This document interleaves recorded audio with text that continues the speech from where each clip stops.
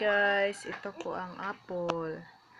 Masarap kainin at matamis siya. Yan, ang ganda ng kulay niyan. Guwapang guwapa. Yan. Gusto nyo bang kumain? Bili lang kayo.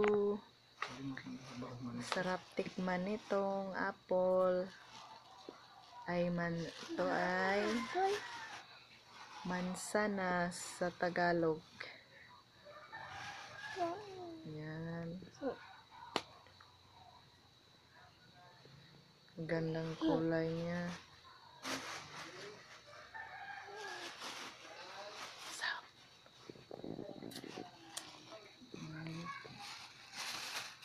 Organic food fruits